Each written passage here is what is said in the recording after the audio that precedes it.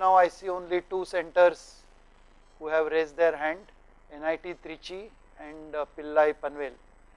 So let me go there. Just two questions per center and I will restrict myself to maybe three centers. These are two here and I will wait for or I will take questions from one more. First to NIT Trichy. Good morning, over to you, Trichy. Uh, good morning, sir. Uh, enthalpy equal to U plus PV, sir. Uh, everything, uh, internal energy, pressure, volume, all are properties.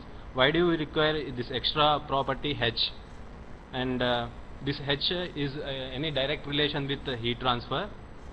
That is first question. And second question is, uh, in free expansion, like half of the pa part of the vessel is filled with vacuum and half of is vacuum and another is some matter is there. If you remove that partition, uh, inside the inside the uh, total vessel, that uh, molecules are moving. So thereby they are doing some work. So they are doing some work means some energy is they are giving. So mm, where that energy is coming from? You said that dq is zero and dw is zero. Uh, I think uh, some work is going on. Uh, there might be some change in enthalpy. That's what uh, I want to say. Over to you, sir. Thank you. And one more, uh, one doubt is, uh, uh, which is, uh, which property is neither extensive nor intensive? Thank you, sir. Over to you. Since in one shot you have asked three questions, I will restrict myself to the answering these three questions. The first question was, uh, what is H? Well, we said that there are uh, different types of properties. We said primitive properties like pressure, volume, velocity. Then basic thermodynamic properties or inherent thermodynamic properties. And there are just three of these. One property defined by each law of thermodynamics.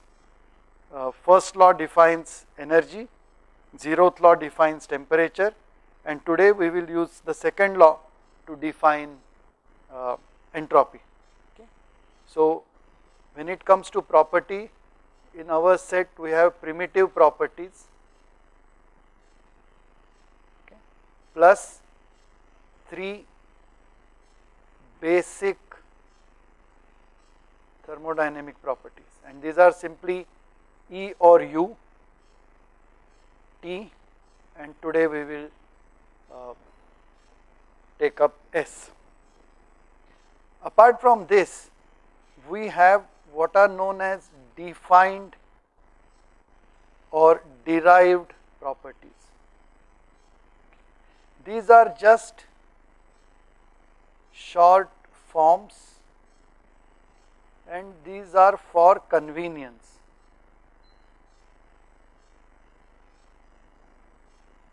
One such property is the enthalpy H and this is defined as U plus PV that is it.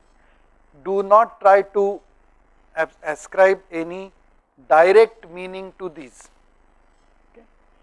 because we will see when we come to open systems and we have already seen that even for fluid systems when you have a constant pressure process this U plus PV turns up together. So it is useful to have a short form H for it. Similarly, we have seen yesterday CV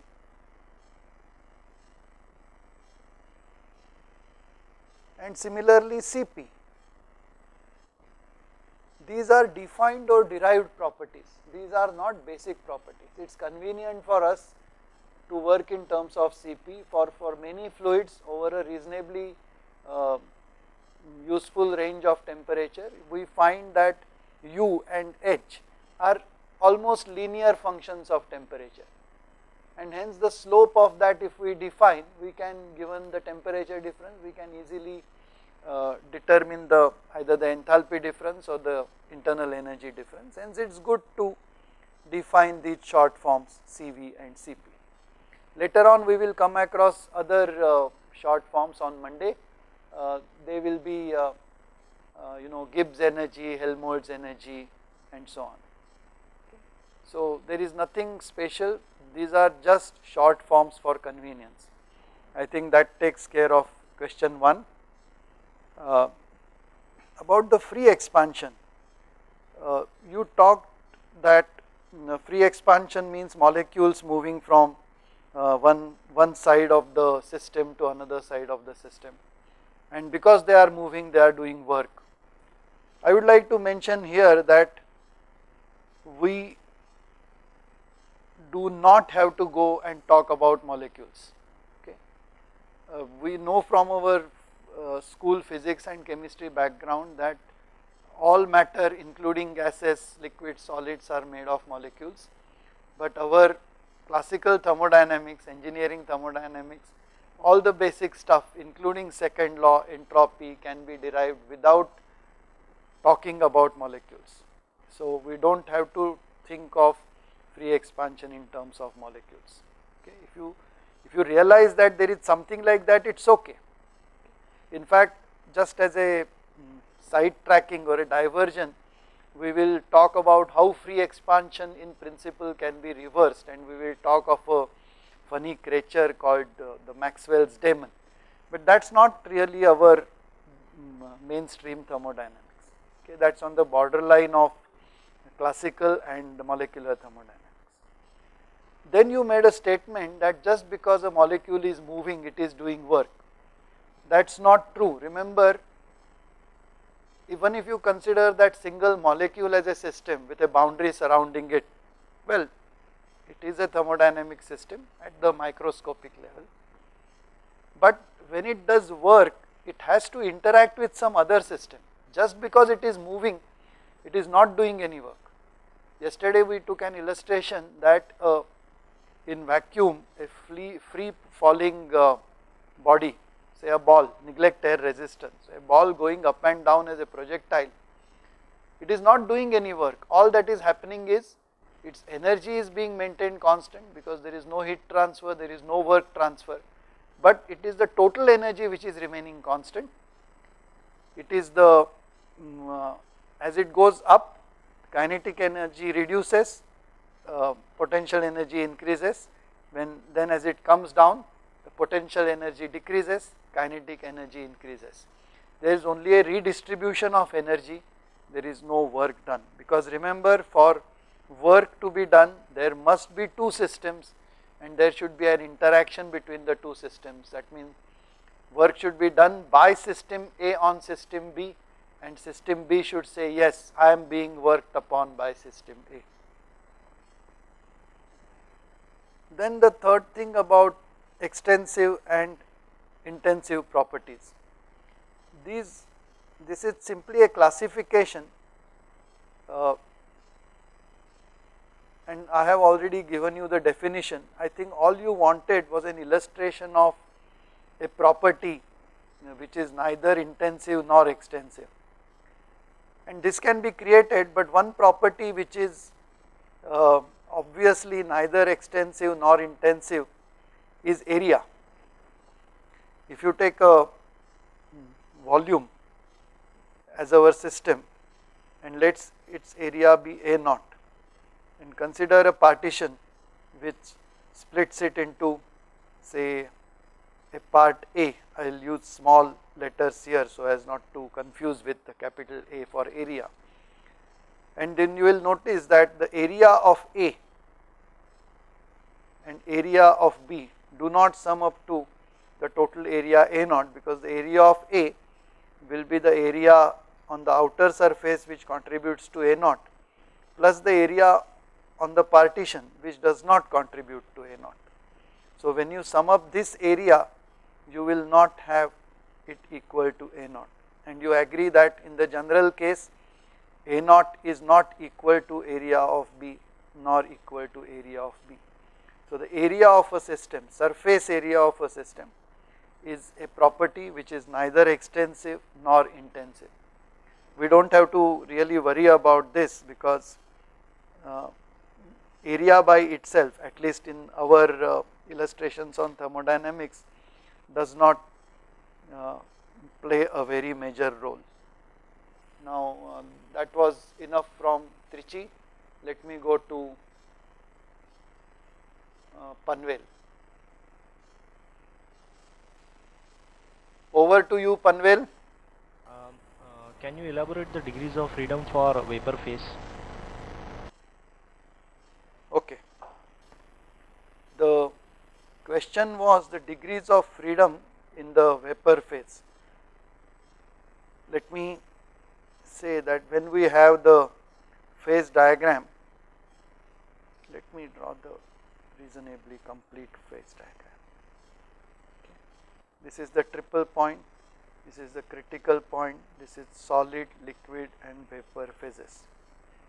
Degree of freedom means that let us take a simpler version because we are not going to look at multi-component mixtures in this course. For us degree of freedom means how many of these intensive properties P and T we can vary slightly and still remain in the same type or same phase of system. For example, if you are here what we call superheated vapor, then I have some pressure, some temperature. I can vary the pressure slightly without changing the temperature and I will still be in the vapor phase. Similarly, I can change the temperature without varying the pressure and I will still be in the vapor phase.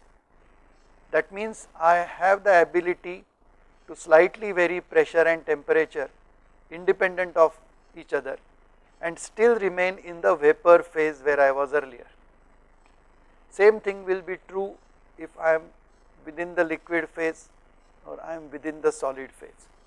So when you have only solid or only liquid or only vapor, we say we are in a single phase domain and we have 2 degrees of freedom that means P and T can be independently varied and that also means that to locate a point on this I have to specify both pressure as well as temperature as in case of superheated steam. Superheated steam at 10 bar does not mean anything you have to say superheated steam at 10 bar and maybe 250 degrees Celsius or 300 Celsius something like that. Now take a point which is on this line and I am considering a location x and at x I have liquid and vapor together. So the characteristic of the system is liquid and vapor in equilibrium.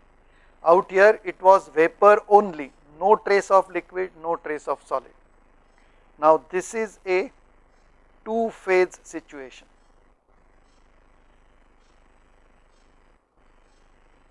Why two phase? Because you have a fixed pressure, you have a fixed temperature, but if you take various parts of the system, the specific volume or density is not uniform. If you take a small part of the system which is in the liquid, suppose there are droplets of liquids and bubbles of vapor, consider a small subsystem in that which contains only the liquid. It has a density a slightly higher density.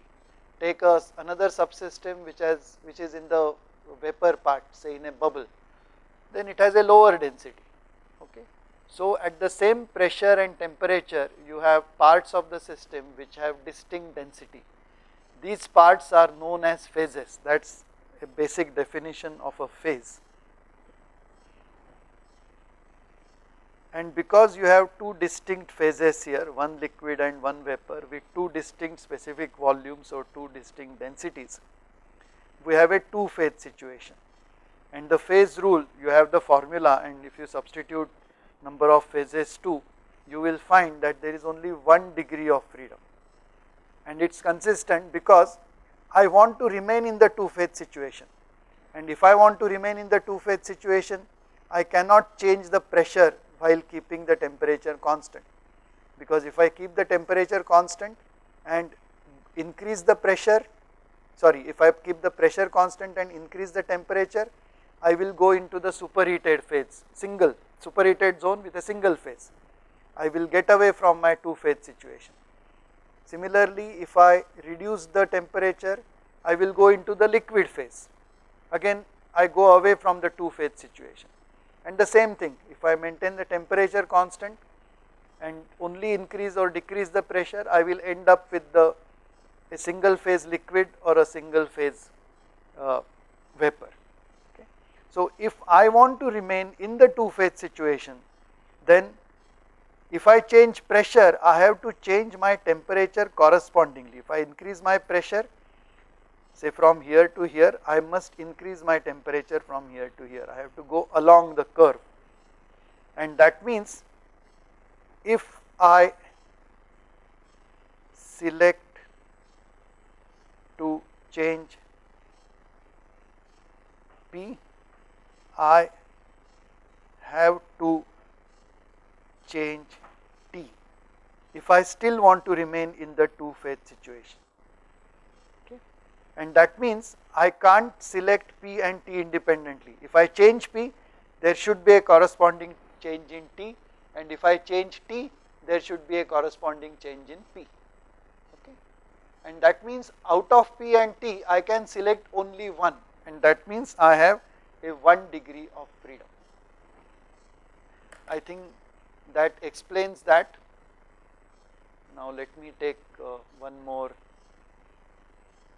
center MKSSS Pune.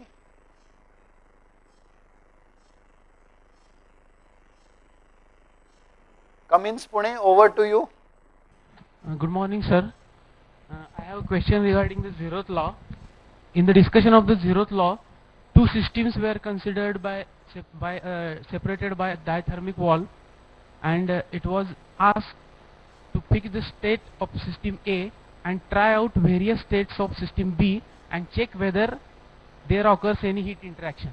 My question is, without defining the temperature yet, how we can check whether there occurs any heat transfer? This is my first question. And second question, by the state postulate first, first uh, state postulate, uh, the state of the state of the system can be defined only by primitive properties and in Mollier chart we still can define the state of the system. Then can we call H and S as primitive properties? Over to you sir. Okay.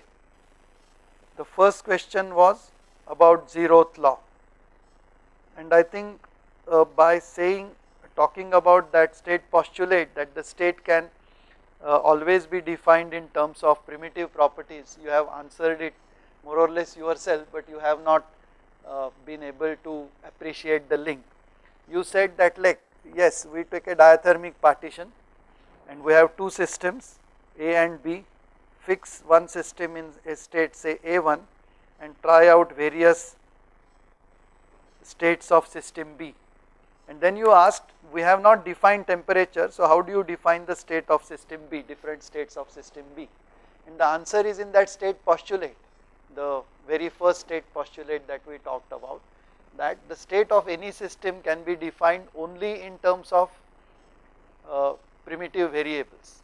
That means if it is a fluid system I can take uh, mass, pressure, volume as the variables and if I change uh, of course it will be a closed system simplicity. So you can change volume and pressure and you can have different states of uh, the system B. So that is the first part. The second question you asked related to Mollier diagram. See the state postulate says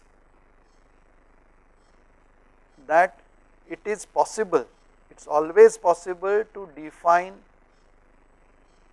a state only using primitive variables or primitive properties.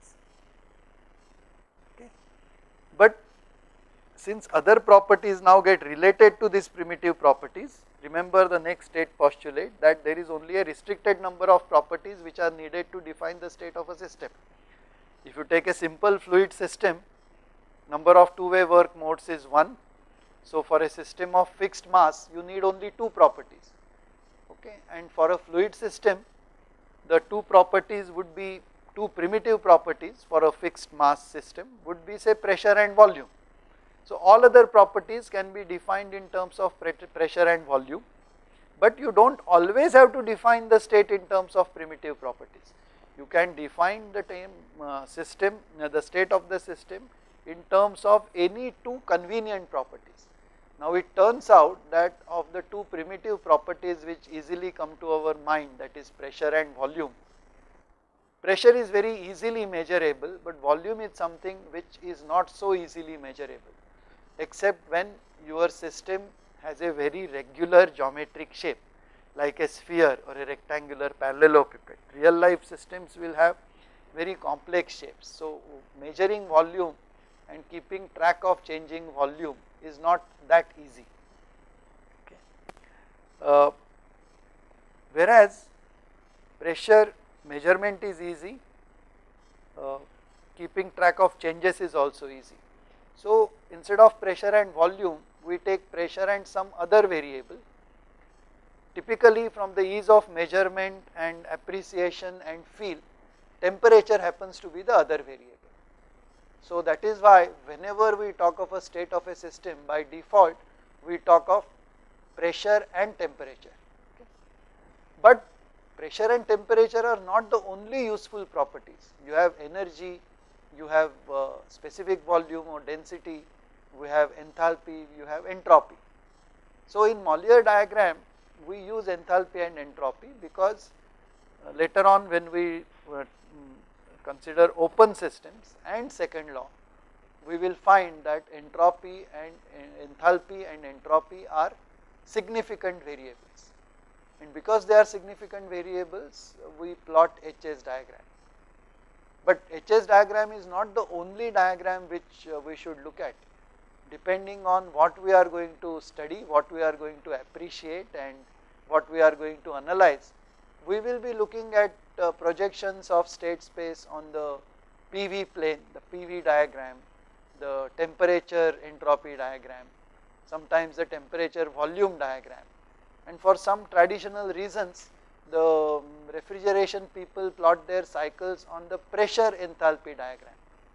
So there is the common thing is two properties because uh, we are using fluid systems which are simple compressible systems which two properties that is left to the person who is handling that system, who is analyzing that system. I think that should uh, satisfy you. I think uh, it is coming to 9.30 and today I want to spend enough time on the second law of thermodynamics. So I am stopping the interaction at this point just now.